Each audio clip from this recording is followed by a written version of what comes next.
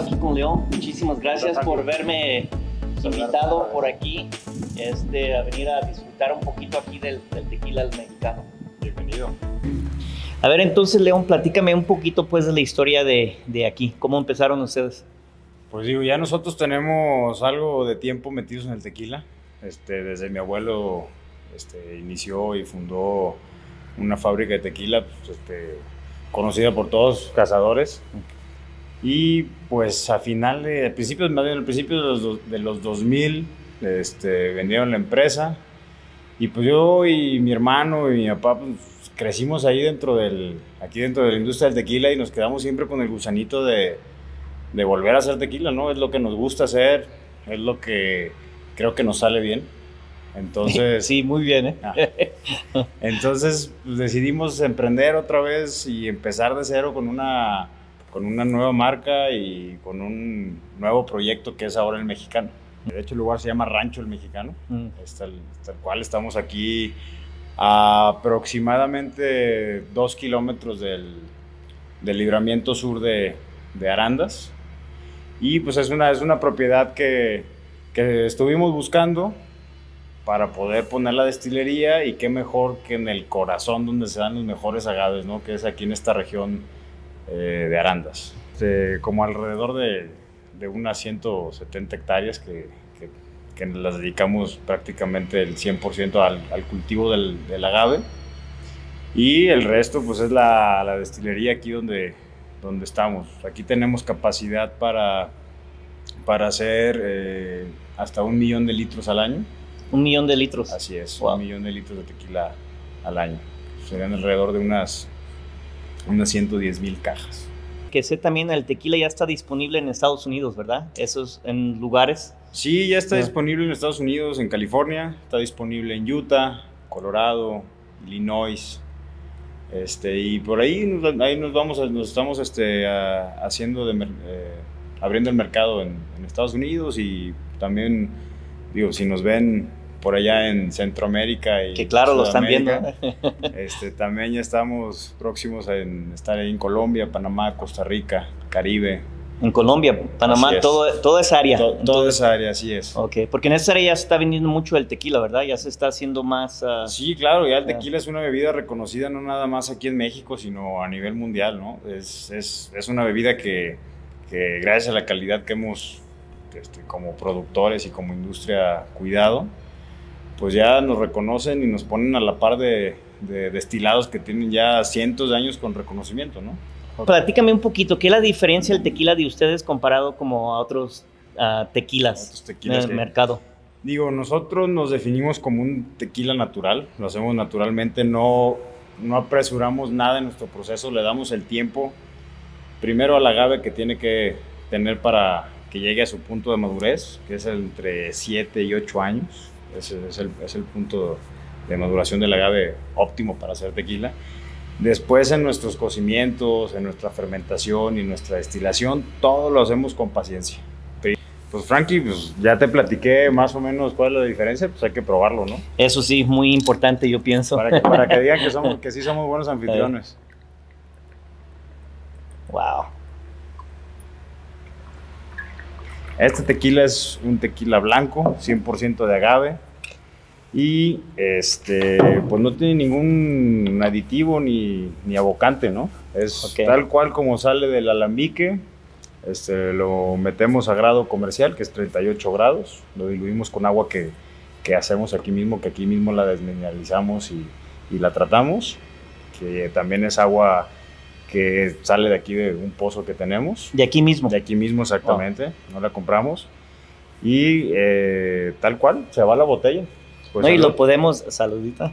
Pero la cosa es de que lo puedes oler con el olor tan delicioso. tan característico de la- del agave, ¿no? Eso que nosotros, este, todo el equipo con el que nosotros hacemos nuestro tequila fue un diseño que hizo mi papá. Ahora Ujú. sí, ya en sus treinta y tantos años de experiencia en el medio, pues él diseñó tanto las autoclaves como los alambiques y todo lo que hacemos es en, es en acero inoxidable. No queremos impartir ningún sabor diferente a lo que ya la tierra nos da, ¿no? O lo que nos da el agave. Oh, ya te entendí. A como sale, así es como ustedes lo, lo, Ah. lo ponen aquí adentro del... Exactamente. del mexicano. como- exactamente. Si, si tenemos una buena materia prima, un buen agave, este, es nada más cuestión de que nosotros no entorpecer a, la, a un proceso natural para poder obtener un, un producto de calidad. Bueno, pues y estamos aquí, pues ya casi listos para las fiestas de, de Arandas. Sí, ya ¿Verdad? estamos, ya estamos a 25 días. si acaso. 25 Exactamente, ya. para que todos lo puedan disfrutar allá en las fiestas. Claro aquí sí. el, el mexicano. Bueno, saludita. Salud. Salud, Frankie. Salud.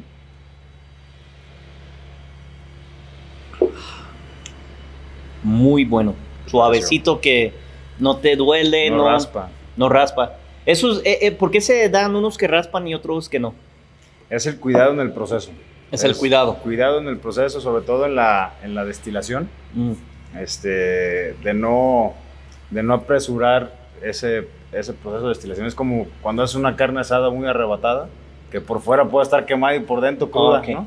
Oh, ya te entendí. Entonces hay, Ok. que darle, hay que darle su término y su tiempo y el punto que, que merece, ¿no? El, el tequila para hacer un buen proceso. Bueno, pues León, a mí me platicaron que tienes un lugar aquí secreto de donde mantienes el, el tequila. ¿Es cierto o qué hecho? Pues digo, se ta- no, hay, no tenemos secretos aquí en Mexicano, pero sí es un lugar que nos gusta cuidar mucho, Ajá. este, porque aquí es donde pasa la mayor cantidad de tiempo el, el tequila en estas barricas, para poder disfrutarlo del- de las versiones de reposado, añejo y extrañejo. ¿Y me va a tocar a mí eh, hoy? Te o- va- sí, claro que te va a tocar la cata completa. Ya, empezamos con el blanco. Vamos a ver. parar. Frankie, y aquí ya estamos en el lugar secreto, como dices. Aquí ahora sí te va a tocar probar de todo. Te va a tocar primero, bueno, el blanco ya lo probamos ahí en el, en el bar. Después vamos a seguir con el reposado. Este reposado, este, nosotros lo dejamos eh, este, añejar durante 90 días en barricas de roble blanco americano y francesas, que son nuevas. Y por último te va a tocar probar la primicia. Este tequila no lo hemos sacado al mercado, es un tequila que va a estar eh, más o menos a mediados de marzo, abril en el mercado y es un tequila añejo que tiene 28 meses de barrica. Igual, en barricas de roble blanco americano y francés. Y voy a ser uno de los primeros que lo va a probar. Claro que sí. Ah, Vas a ser de los primeros. De hecho, no, te- no tenemos todavía ni la, ni la presentación com- completa, ¿no? entonces me vas a, me imagino, me vas a enseñar cómo tomarlo bien, ¿verdad? Porque eso es bien importante. Es bien, es bien- digo, es bien importante para saber qué está tomando uno, pero yo soy de la idea que el tequila se debe de tomar como a cada quien le guste. Porque el, Por no decirlo en otras palabras, Ajá, ¿verdad? exactamente. Porque el tequila tiene, tiene esa ventaja, ¿no? Ok. Que el tequila puede ser muy versátil. Mm. Entonces, por eso tenemos blancos, tenemos reposado y por eso tenemos añejo, que son para diferentes momentos. Ok. No debe de ser nomás como de una manera De específica. una manera específica, como dicen, no. es que todo el tequila tiene que ser en esta copa y tiene que estar a cierta temperatura. No, ¿qué tal si a mí se me antoja un día prepararme una paloma con jugo natural de toronja? Para eso es el tequila. También Tienes toda la razón. ¿no? ¿Por qué no? Porque siempre traemos antojos diferentes, ¿no? En diferentes momentos. Perfecto. Entonces, este es el blanco. Este es el tequila blanco. Este es un tequila que está a 38 grados, es 100% de agave. Es un tequila natural, no tiene ningún abocante. ¿Qué quiere decir? Que no tiene ningún ni saborizantes Mm. ni aromatizantes artificiales, ¿no? Como hay ahorita muchos tequilas en el mercado, ¿no? Que están de moda. Este es, ahora sí que la expresión más pura que puede haber del tequila. Este de aquí. Este de aquí, porque es realmente el corazón del tequila. Todos los demás, pues es la base es el blanco y le damos ya una evolución en barrica y ya va cambiando las características. Pero Esta es Perfecto. la base. Entonces, ¿qué significa de esto de que, como ahorita que podemos darle la vuelta y se ve como miel Sí. que se cae? Lo que cae es, lo explico, lo explico muy rápidamente, esto se llama el cuerpo aparente Ujú. y aquí nos va a dar dos cosas. Primero es el, el peso que va a tener en la boca, por así decirlo, el tequila, que es con la rapidez que van a caer, que se forman las gotas y las lágrimas y luego que se forman las piernas. Ok. Este, otra es que entre más cerca se juntan este, o se empiezan, a, se empiezan a hacer las lágrimas, nos va a hablar del, del contenido alcohólico, ¿no? Que va a tener esto, tequila. Ok. Y que estén bien definidas las piernas, también nos habla de que es un tequila este, bien hecho. Cuando tienen mucha agua o están muy diluidos, que no tienen un cuerpo, pues empiezan a, a ver como agua, ¿no? Como, en un, Sí. como, si, pues, como si tuvieran agua, se cortan. Sí, se corta muy rápido. Cortan muy rápido y estas no. Estas tal cual se forma la lágrima, hace la pierna y se queda. Y cae te- como miel, literalmente como se miel, ve. exactamente. wow, entonces, mira, era algo que la verdad nunca entendía, ¿eh? Que lo he oído muchas veces, pero no entendía el... el- El porqué. El porqué, ey. Sí, muchas veces le explican Eh. el que ah, se forma la pierna y ve Eh. que la pierna sea larga y que escurra despacio, sí, pero no dicen el el por qué. por qué. Exactamente. Bueno, este ya lo probamos, pero pues hay que darle otra... Otra. Otra. Salud.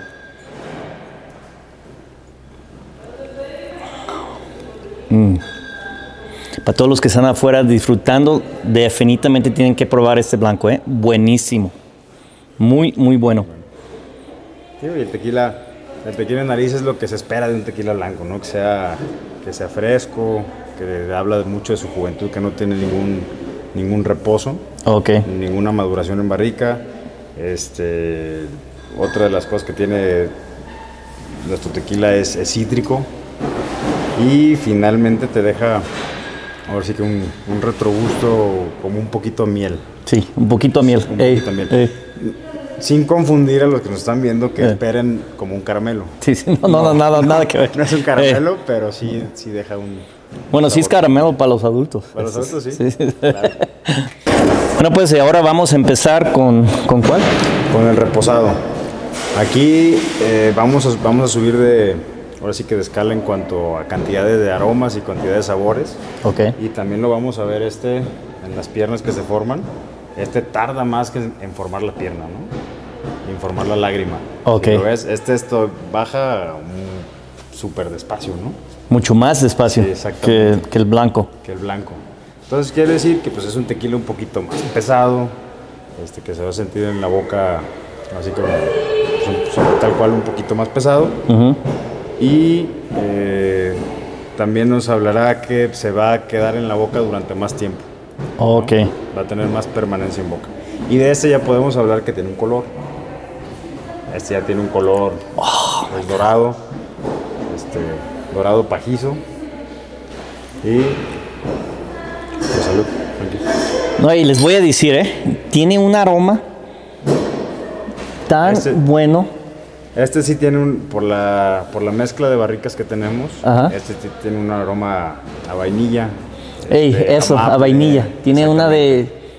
No, y no es por decirlo, pero nunca había olido uno tan, tan fuerte, ¿eh? Que tiene así de bueno, tan... Exacto, que, que tenga, que tenga también marcada la, la barrica.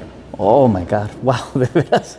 Sí, este sí tiene, sí tiene vainilla y si lo pudiéramos comparar, este sería como, el blanco sería como probar una lima y este sería como probar una, una como una naranja, pues bien madura, bien dulce. Wow. Sería, Buenísimo. Bueno, pues salud. Salud.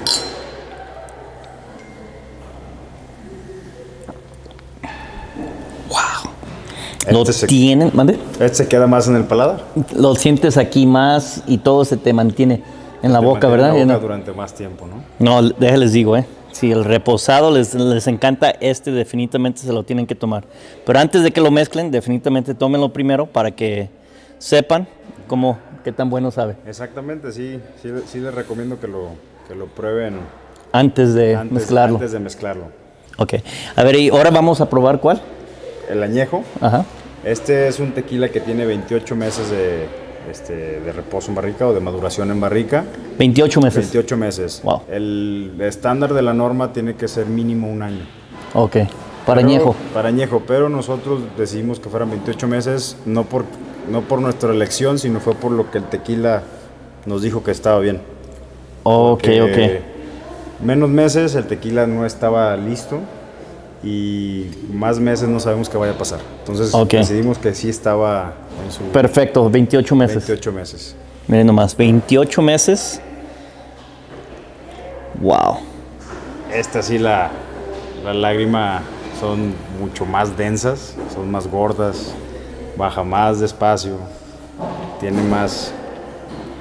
Ahora sí que por el, por el punto de maduración en barrica que tiene, pues tiene todavía mucho más peso en la boca y se va a quedar en la boca durante más tiempo que el reposado. El añejo. El añejo, así es. Tequila, el mexicano, añejo.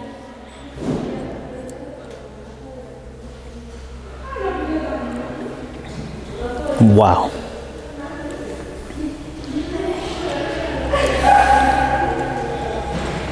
¿Qué te pareció, Frank? Ah, este también entra bien suavecito, bien. Y este sí da calor. Este sí da cada. Claro. Pensé que era nomás yo, ¿eh? No, no, no, sí, no, no, sí, sí. se siente. Se siente más de. Wow. Es- es- esa es una cosa que siempre hay que buscar en, en los tequilas. Tequilas que den calor, que, don- que no den ardor. Que den calor, que no den ardor. Porque cuando es de ardor es como tequila no tan. Sí, tequila que lo hicieron muy masivo, muy rápido y genera cierto ardor en la, sobre todo aquí en la garganta. Eh. ¿no? Y este sí, no, ese Este es, no, este pasa, pero sientes, sientes el, el calor, pero aquí en el, en el alma, ¿no? y ese está buenísimo para el frío, ¿eh? Sí, claro. Lo sientes todo en el cuerpo. Pues León, muchísimas gracias por verme invitado aquí hoy. ¿Y qué, qué- qué vamos a esperar de ustedes ahí en las fiestas de, Pues ahí, ahí estaremos, ahí estaremos con, una, con una terraza durante las fiestas de enero. Los invitamos a todos los que nos están viendo a que vengan, se la van a pasar muy bien. Hay buen tequila, hay buena comida, eh, hay pues, buenas variedades en el palenque y en los bailes que, que vaya a haber. Y también los invitamos a que nos visiten en el mexicano, en la terraza. En la terraza ahí los estaremos viendo. Va a haber música, va a haber de todo, me imagino, De ¿verdad? todo, exactamente. Que, eh, y disfrutar de un buen tequila. Salud.